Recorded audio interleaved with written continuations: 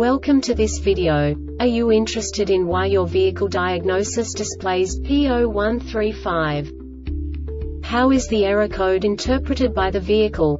What does P0135 mean, or how to correct this fault? Today we will find answers to these questions together. Let's do this.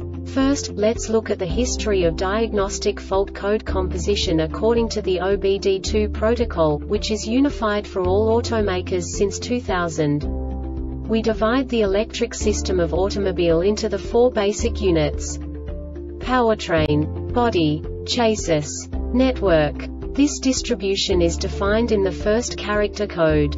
If the second character is expressed as zero, it is a standardized error. In the case of numbers 1, 2, 3 it is a more prestigious expression of the car-specific error. The third character specifies a subset of errors.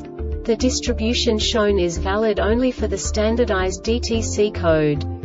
Only the last two characters define the specific fault of the group. Let's not forget that such a division is valid only if the other character code is expressed by the number 0. Our website airbagreset.sk produces useful videos for you.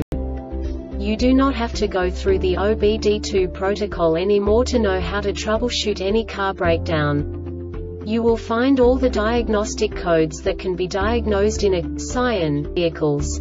Also many other useful things. The following demonstration will help you look into the world of software for car control units. You unbelievably can move the video a bit further. The error code is split into two bytes consisting of 16 bits. One bit is the basic unit that each computer works with. The bit has two logical states.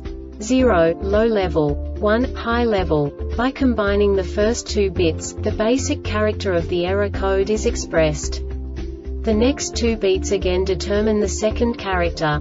The last beat styles of the first byte define the third character of the code. The second byte is composed of a combination of 8 bits. The first 4 bits determine the fourth character of the code. And the combination of the last 4 bits defines the fifth character. A single byte conceals 256 possible combinations.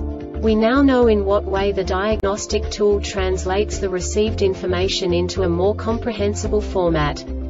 The number itself does not make sense to us if we cannot assign information about it to what it actually expresses. So, what does the diagnostic trouble code P0135 interpret specifically, Scion, car manufacturers? The basic definition is normal closing valve 2 malfunction.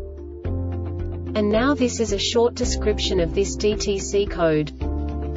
Defective harness connector defective VDCHU solenoid valve. This diagnostic error occurs most often in these cases. Bad wiring harness open or short circuit poor contact between alternator, battery and VDCCM. The Airbag Reset website aims to provide information in 52 languages. Thank you for your attention and stay tuned for the next video.